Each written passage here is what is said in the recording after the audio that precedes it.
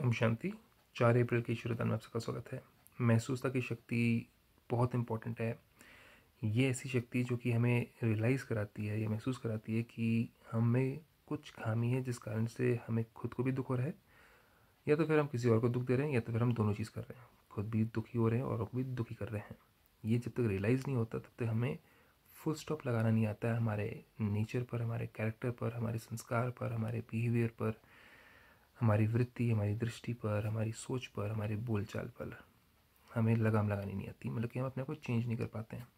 तो परमात्मा आज कह रहे हैं कि महसूसता की शक्ति द्वारा स्व परिवर्तन करने वाले तीव्र पुरुषार्थी भवा क्योंकि समय कम है संगम युग चल रहा है, और पुरुषार्थ जल्दी करना है, अपने को चेंज जल्दी करना है, अपनी फॉल्ट्स को फटाफट पकड़ना है, और उन फॉल्ट्स को फटाफट चेंज करना है।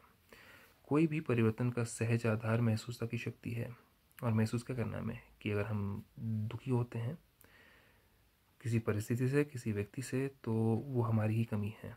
हमारे अंदर कुछ ना कुछ कमी है। कुछ या तो गुण की कमी है, या तो शक्ति की कमी है, या तो फिर अनुभव की कमी है, या या किसी प्रकार के मिलनसारता की कमी हमारे अंदर। कुछ ना कुछ कमी है हमारे अंदर, जिस कारण से हम परेशान होते हैं। जब तक महसूसता की शक्ति नहीं आती, तब तक अनुभूति नहीं होती।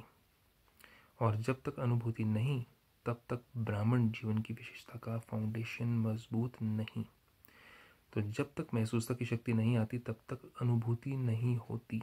एक्सपीरियंस नहीं होता कि हाँ भाई, मैं इस तरीके से भी बिहेव कर सकता हूँ, इस तरीके से भी बोल सकता हूँ, इस तरीके से भी रिएक्ट कर सकता हूँ, या कर सकती हूँ, ताकि शांति बनी रहे, सुख बना रहे, खुशी बनी रहे और मेरी सबसे पहले इम्पोर्टेंट क्योंकि अगर हम उत्तेजना में आते हैं उथल पुथल में आते हैं तो हमारी खुद की परिस्थिति या हमारी खुद की स्थिति जो होती है, वो बिगड़ती है। हम सही निर्णय नहीं ले पाते हैं, हम अशांत हो जाते हैं, हम सही सोच नहीं पाते हैं।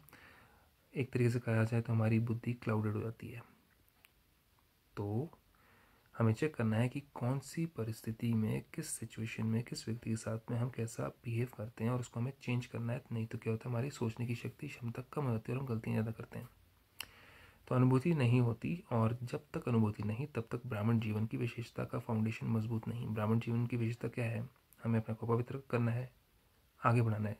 संकल्प, बोल, कर्म में पवित्र करना है, आगे बढ़ना है। उमंग, उत्साह की चाल नहीं रहती।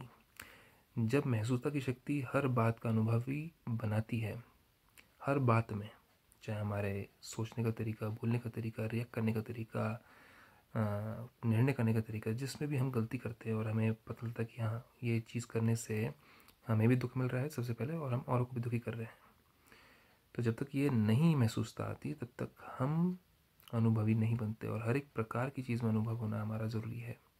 क्योंकि कहीं पे भी अगर विघन आ रहा है, कहीं पे भी अगर कुछ प्रॉब्लम आ रही तो कहीं ना कहीं हमारे अंदर कोई कमी है। जब महसूसता की शक्ति हर बात का अनुभवी बनाती है, तब तीव्र पुरुषार्थी बन जाते हो। महसूसता की शक्ति सदा काल के लिए सहज परिवर्तन करा देती है। महसूसता की शक्ति सदा काल के लिए सहज परिवर्तन करा देती है। ओम शांति।